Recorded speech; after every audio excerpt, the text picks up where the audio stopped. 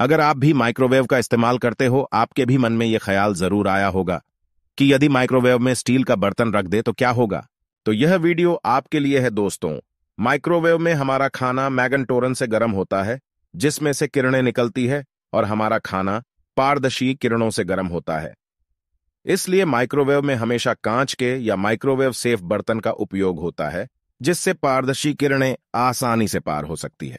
किरणें स्टील के बर्तन में पार नहीं होती है। आपको बता दें कि स्टेनलेस स्टील को कभी भी माइक्रोवेव में ना डालें, क्योंकि अगर आप ऐसा कुछ भी पकाने जा रहे हैं, जो कि माइक्रोवेव की ज़रूरत पड़ेगी तो उसे स्टील के बर्तन में ना पकाए।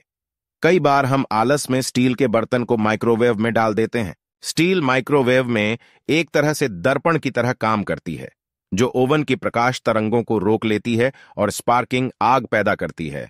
और यदि उपकरण तुरंत बंद नहीं किया जाता है तो माइक्रोवेव फट भी सकता है। और माइक्रोवेव का मैग्नाटोरन भी खराब हो सकता है। जो माइक्रोवेव में किरणों से खाने को गर्म करता है और आपका हज़ारों रुपए का नुकसान हो सकता है।